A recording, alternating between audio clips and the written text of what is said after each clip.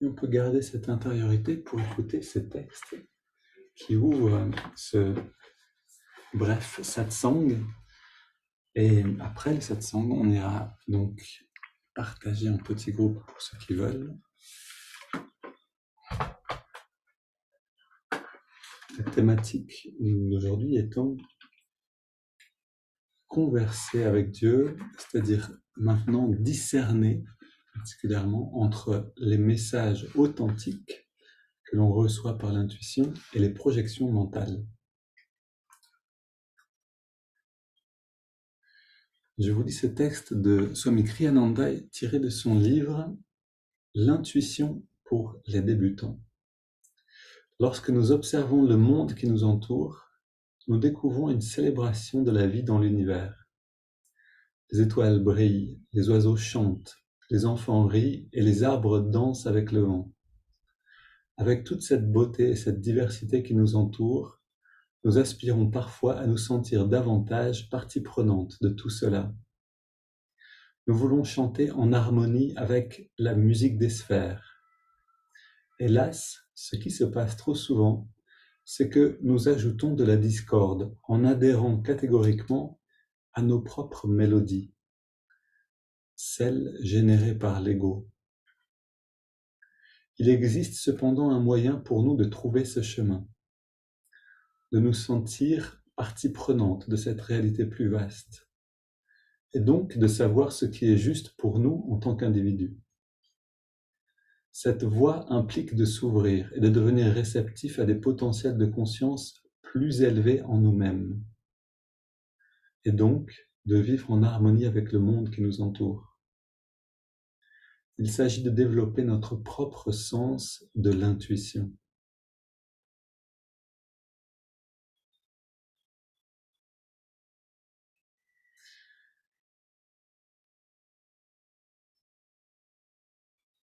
L'intuition est la capacité innée de chacun à percevoir la vérité directement, non par la raison, la logique ou l'analyse mais par une simple connaissance intérieure.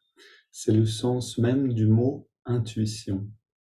Savoir ou comprendre de l'intérieur.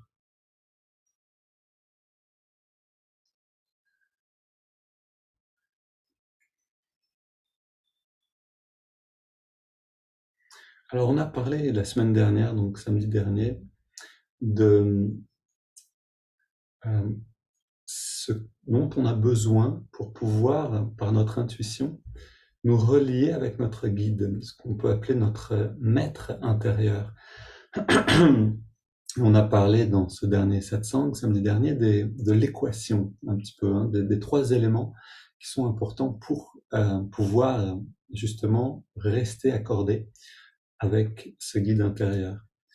Je rappelle ces trois éléments, la maîtrise de soi, pour un certain calme, aussi une continuité dans notre effort d'ajustement. Puis ensuite, justement, l'ajustement lui-même, c'est-à-dire se mettre sur la fréquence du guide, comme quand on passe un coup de téléphone finalement, et puis rester sur cette fréquence pour recevoir les messages. Et enfin, la conscience des pensées pour rester dans cette, ce flux d'échange entre lui et nous, entre le guide et nous-mêmes, et pour aussi rester conscient de ce flux et non pas de partir avec les pensées.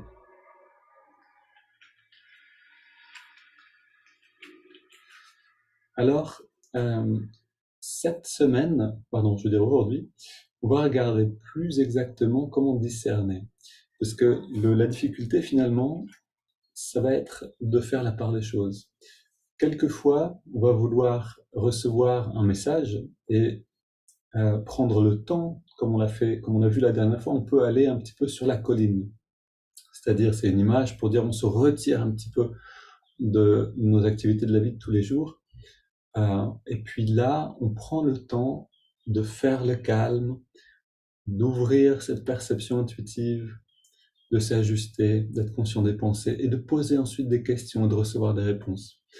Mais une question qui se pose, euh, qui est importante, c'est est-ce que ces réponses ou est-ce que ces messages viennent en fait de la bonne source ou est-ce que c'est des projections du mental? Et euh, ça, c'est une problématique euh, importante avec laquelle euh, Swami Kriyananda, en fait, euh, il en parle beaucoup, il traite beaucoup de cette problématique parce que c'est à la fois essentiel de faire confiance à cette intuition qui est en nous et en même temps c'est important de remettre en question, de d'observer, de discerner pour reconnaître la vraie de la fausse intuition. Alors, ça peut paraître comme un peu ésotérique parler de l'intuition, mais en réalité, c'est quelque chose qu'on utilise dans la vie de tous les jours, presque tout le temps, sans s'en rendre compte. Euh, si on observe, par exemple, un, domaine de notre activité, de nos activités, où on a de l'expérience, on va se rendre compte que l'intuition, elle, euh, elle fait partie, en fait, de notre fonctionnement dans ce domaine-là. Je parlais une fois avec un ami euh, de son travail, et puis il me disait qu'il se, il se disait lui-même pas du tout intuitif.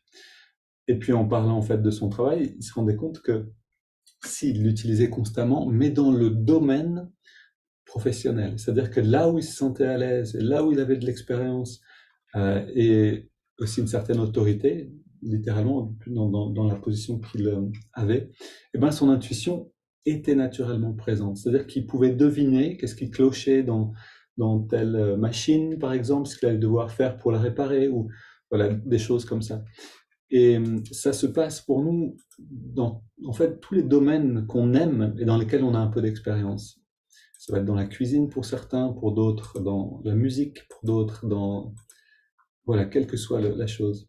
Donc la question c'est pas vraiment est-ce qu'on a de l'intuition. En fait, on en a et on s'en sert, mais est-ce qu'on peut en devenir conscient et est-ce qu'on peut l'utiliser de manière déterminée, de manière intentionnelle? Et aussi, est-ce qu'on veut le faire? C'est-à-dire, est-ce qu'on veut en fait utiliser ce lien avec le guide dans chaque instant de notre vie, pour chaque décision? Parce qu'on peut voir finalement euh, ce lien avec le guide comme notre euh, plus grande richesse spirituelle. C'est-à-dire, si on compare la, qualité de cet euh, appareil avec lequel on est, on est installé, enfin qui est installé en nous, de réception et d'émission, donc d'échange en fait avec le guide, c'est euh, ça dépasse largement ce qu'on pourra faire en termes de technologie extérieure avec les meilleurs ordinateurs, les intelligences artificielles, etc. Là, on peut directement poser des questions, obtenir des réponses si on apprend à se servir de ça, et on peut l'utiliser pour clarifier en fait des aspects de notre vie qui ont besoin d'être clarifiés, et on peut aussi l'utiliser dans euh, l'action sur le terrain euh, pour aller dans la bonne direction pour que nos actions soient justes. Donc, c'est un petit peu le, voilà, la lampe d'Aladin où, où c'est la grande richesse. C'est ça que je veux dire avec ça. C'est on a une grande richesse ici et on peut apprendre à s'en servir. Alors, il y a deux manières principales de se servir de cette intuition ou de situation plus exactement. Une qui va être ce qu'on appelle donc ce que j'appelle sur la colline, c'est-à-dire qu'on va se retirer. Et là, on va prendre le temps de se connecter avec ce guide, avec cette partie divine, et ou avec l'âme, on peut aussi dire l'âme qui vole au-dessus du navire de notre personnalité et qui voit ce qui se passe dans notre vie et qui peut nous donner des indications précises. Attention, ne prends pas à droite, mais continue tout droit. ou euh, voilà, tout ce qui a besoin d'être fait dans notre vie, on peut en recevoir des indications précises et très pratiques.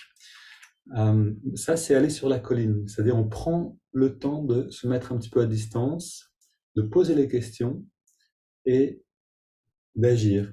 L'autre situation, c'est d'être sur le terrain. On n'est plus sur la colline, on est dans la vallée. On est en train d'agir. Il y a nos réactions émotionnelles, il y a des personnes, il y a des, choses avec lesquelles on doit dealer. Et là, au milieu de tout ce brouillard, on pourrait dire, euh, émotionnel et mental, on a besoin quand même d'apprendre à reconnaître l'intuition et agir à partir de là. Donc, ce sont deux situations différentes qui sont euh, d'ailleurs présentes dès le début dans l'enseignement de la Bhagavad Gita. On a besoin d'être à la fois à l'écart de la bataille et en même temps sur le champ de bataille. On a besoin des deux. Euh, enfin, en même temps, en tout cas, on a besoin de ces deux situations-là pour grandir spirituellement. Maintenant, comment voir cette relation avec le guide? C'est un petit peu comme si on était plusieurs à vouloir remplir une mission, accomplir quelque chose qu'on doit accomplir sur la Terre. C'est comme si on était une équipe.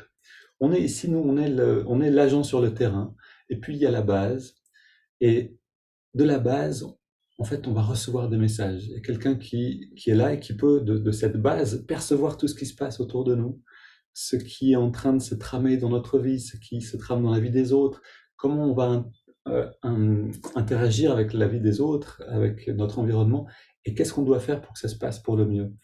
Et nous, étant l'agent sur place, on a besoin de cette communication, on a besoin de savoir ce qui se passe. En fait, c'est une nécessité absolue. Si on, si on reste avec les cinq sens, ce serait comme de rester dans la condition animale. C'est-à-dire, et encore, les animaux ont vraiment une, perception beaucoup plus intuitive que nous à certains degrés, mais ce serait comme ne pas faire appel à la partie la plus élevée de la conscience humaine et en rester à une conscience très brute. C'est-à-dire, on perçoit avec les yeux, les mains, le toucher, la vue, euh, oui, les oreilles, etc. Mais la vraie richesse, elle est ailleurs. Elle est dans cette relation, en fait, dans cette équipe qu'on forme réellement.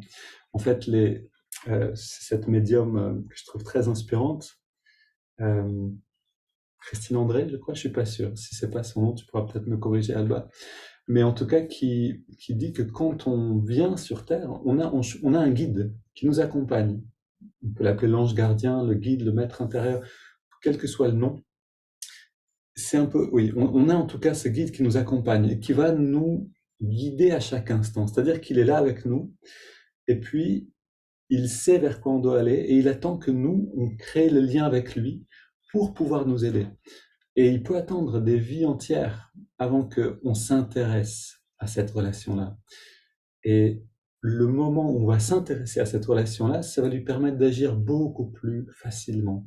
Au lieu de devoir créer des situations difficiles dans notre vie pour nous ramener dans le bon chemin par la souffrance, euh, il va pouvoir nous, parler directement. Donc, est-ce que je dois prendre à droite ou à gauche?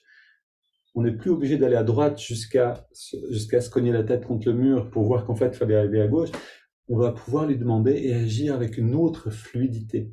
Et cette fluidité, elle est essentielle dans le développement euh, de l'aspirance spirituelle, dans notre évolution spirituelle. Il y a un film qui, je trouve, illustre bien ça, c'est Matrix. Vous avez sans doute vu ce film, sinon je trouve qu'il est assez divertissant. Et puis il y a un moment comme ça au début du film où le héros est donc dans un call center et il est en train de passer des coups de fil, puis il reçoit un appel. Et puis au téléphone, on lui dit, tu es en danger, euh, mais cache-toi tout de suite sous la table. En gros, hein, je ne me rappelle plus les détails. Et donc il va se cacher. Et puis en effet, dans le film, il y a des gens qui viennent et qui veulent en fait euh, le tuer, je crois, enfin, qui veulent, qui veulent en tout cas l'attraper et lui faire du mal. Et puis, à travers ce téléphone, il reçoit des indications précises. Maintenant, passe de l'autre côté du mur. Maintenant, ouvre la porte. Maintenant, baisse-toi. Et en fait, cette, guidance le guide parfaitement pour le faire éviter le pire. Et ça continue. C'est l'idée de Matrix, en fait, c'est qu'il y en a qui sont hors de l'illusion et qui guident celui qui est dans la dualité. En fait, c'est un peu cette euh, symbole, cette euh, symbolique de ce qu'on vit de nous. Et donc, euh, va l'amener à faire les bons choix à chaque instant. Et on peut vraiment voir la chose de cette manière. Ok, je regarde l'ensemble des choses à dire. Oui, et puis je voudrais témoigner de cette, et d'ailleurs c'est ce que, ce que je vous invite ensuite à faire dans les petits groupes, c'est de témoigner justement. C'est-à-dire qu'on est tous dans des situations, on a tous vécu des situations où on a pu euh, recevoir le message du guide et on a pu agir d'une manière qui soit euh, ajustée avec la situation. Et il y a des moments où on n'a pas trop réussi justement, où on n'a pas réussi du tout, bien sûr, et où on a dû en euh, goûter aux conséquences, porter la responsabilité de ce qui s'est passé après. Alors, ici, je voudrais témoigner d'un exemple qui s'est passé dans ma vie et qui illustre un petit peu cette difficulté à discerner euh, et l'aide qu'on peut recevoir pour le faire, donc discerner ce qui est vraiment maintenant la juste action. Euh, et donc, voilà, j'étais dans une, formation, dans une école, une école de médecine chinoise, et dans laquelle j'ai voilà, fait ma formation à un certain moment. Et puis, j'étais dans une situation difficile parce que j'étais dans la classe d'un professeur euh, que il y avait quelque chose qui clochait pour moi dans sa manière d'interagir avec les élèves, dans sa manière de leur demander, voilà, toi viens ici, mets-toi dans telle position, voilà, les autres regardaient, et puis après il y avait un, petit peu une sorte de manque de respect, et on se mettait à rire de la personne, et, j'avais toujours l'impression que c'est pas juste, il y a quelque chose qui cloche ici. Euh, et donc voilà, je restais toujours à distance, mais une fois, bien sûr, c'est tombé sur moi, et le professeur m'a dit, toi, viens là. donc, j'ai pas senti d'élan pour le faire, donc je suis resté absolument stoïque, immobile, silencieux. donc il m'a regardé un petit peu interloqué, il m'a dit Qu'est-ce qui se passe? J'ai dit non, je n'aime pas ça. Et donc je suis resté simplement, euh, voilà, moi-même un peu surpris de ma réaction.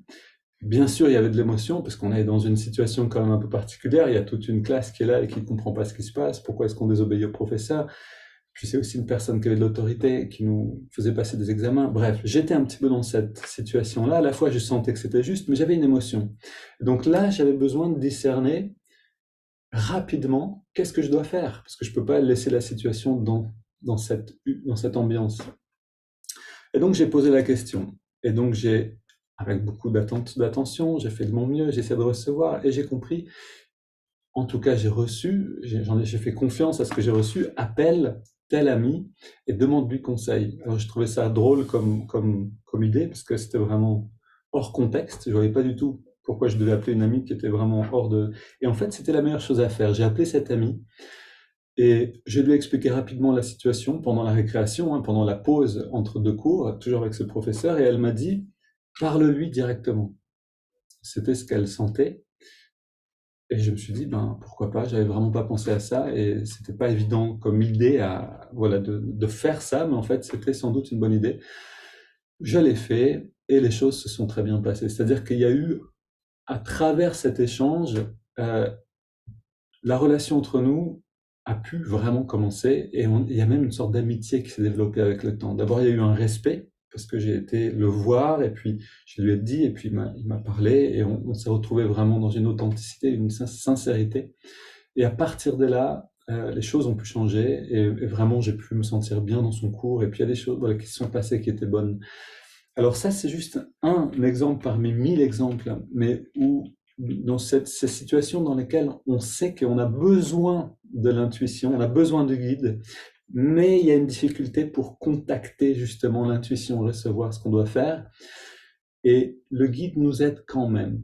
Ça, c'est important de savoir. C'est ben, même si on a du mal, si c'est brouillé, s'il y a quelque chose, demandons quand même, demandons, demandons et écoutons. il y a quelque chose qui va venir nous aider. Et si c'est juste s'intérioriser pour essayer de comprendre ce qu'il nous dit, en soi, c'est déjà un pas important. C'est déjà quelque chose qui peut nous aider le simple fait de nous intérioriser nous, tient un petit peu à l'écart de l'action. Et tant qu'on est dans un brouillage, c'est-à-dire dans un brouillard en fait, euh, mental ou émotionnel, le mieux c'est de ne pas agir. Alors, je ne veux pas parler trop longtemps aujourd'hui. Je regarde juste voilà l'essentiel de ce que je voulais vous dire avant qu'on aille dans les petits groupes. Donc, ce que je vous proposerais dans les petits groupes, c'est de faire à peu près la même chose, c'est-à-dire de, de, voilà, de voir un petit peu. On va prendre le temps ensemble avant d'aller dans les petits groupes pour euh, pour voir quels sont, pour, se rappeler d'une situation dans laquelle on a eu justement euh, euh, où on a pu suivre l'intuition ou on n'a peut-être pas pu la suivre. Mais avant cette dernière lecture de Swami Kriyananda que je trouve éclairante sur comment discerner. En exerçant votre intuition au fil du temps, vous deviendrez progressivement conscient du type de sentiment qui indique le bon choix. Ce sentiment est très subtil et sera perçu différemment par chacun d'entre nous. Même après avoir essayé pendant des années de me mettre au diapason d'une guidance supérieure, je l'aborde toujours avec prudence. Tout d'abord, pour reconnaître le type de sentiment qui indique une véritable guidance, recherchez trois qualités le calme, la clarté et la joie. L'intuition repose toujours sur un profond sentiment de calme et de détachement. Lorsque vous essayez de vous connecter au superconscient, demandez-vous si les conseils que vous avez reçus vous agitent. Si c'est le cas, vous pouvez supposer que vous ne faites que suivre vos propres désirs.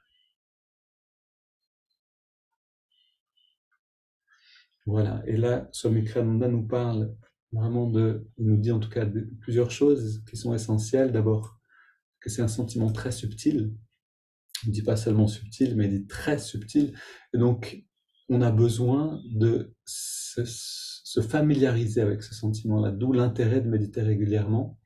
La phase d'expansion nous permet de ressentir ce calme, cette clarté et cette joie intérieure, qui sont les signes d'un ajustement euh, efficace, un, ajustement réel avec cette guidance intérieure. En fait, si on peut apprendre à rester sur cette fréquence de conscience ou cette fréquence de sentiment, on sait qu'on est aligné. Et à partir de là, on peut laisser les actions euh, se dérouler plus spontanément.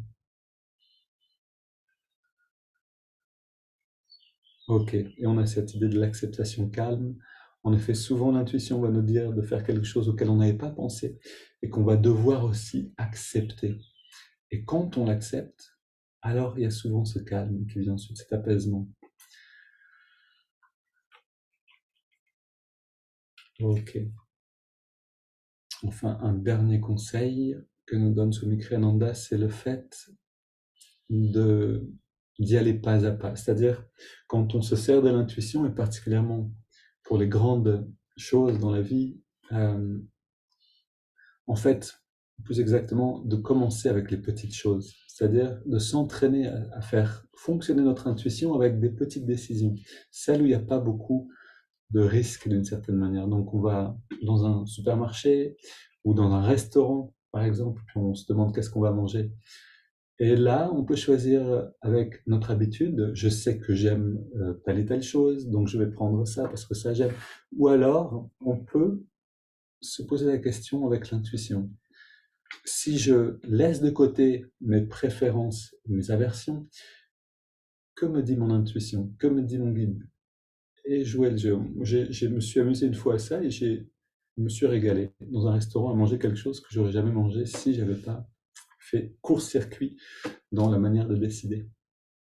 Donc commencer avec les petites choses, c'est important parce que pour les grandes décisions, quand l'intuition n'est pas encore complètement fonctionnelle, c'est-à-dire qu'on n'est pas habitué à s'en servir constamment, eh ben, il vaut mieux euh, aller demander conseil ou attendre le plus possible, retourner souvent demander la question, obtenir une réponse. Puis quand la réponse devient stable, alors on peut agir, on peut faire ce déménagement si c'est un déménagement, ou on peut changer de travail, changer de profession, etc. On s'entraîne d'abord avec les petites choses. Ok. Alors, je termine avec ça parce que je trouve ça intéressant. C'est une dernière lecture de Swami Kriyananda euh, qui parle aussi des attentes. Dans ce processus, donc de l'intuition, il est important d'être aussi impartial que possible. Lorsque vous proposez des, alternatives au superconscient, ne pariez pas secrètement sur un choix plutôt qu'un autre. Lorsque la réponse arrive, même si ce n'est pas le cheval sur lequel vous avez parié, ayez le courage de suivre la réponse. Après avoir reçu une guidance intérieure, de nombreuses personnes rejettent le résultat en disant ⁇ Je ne voulais pas celle-là ⁇ Avec le temps, cette attitude va restreindre le flux de guidance que vous recevez. Dans un dessin animé, on voit quelqu'un appeler le ciel. Y a-t-il quelqu'un là-haut? Une voix tonne depuis les nuages. Oui, mon enfant, je suis là. La personne demande alors Que dois-je faire de ma vie? La réponse vient Je veux que tu vives une vie honnête et chaste. La personne fait une pause, puis demande Y a-t-il quelqu'un d'autre là-haut? Ok, petit exemple des pièges à éviter. Alors, ce que je vous propose maintenant, c'est d'aller dans, euh, dans des petits groupes que nous aura préparé Alba avec son intuition merveilleuse. N'est-ce pas, Alba? J'imagine que tu les as préparés.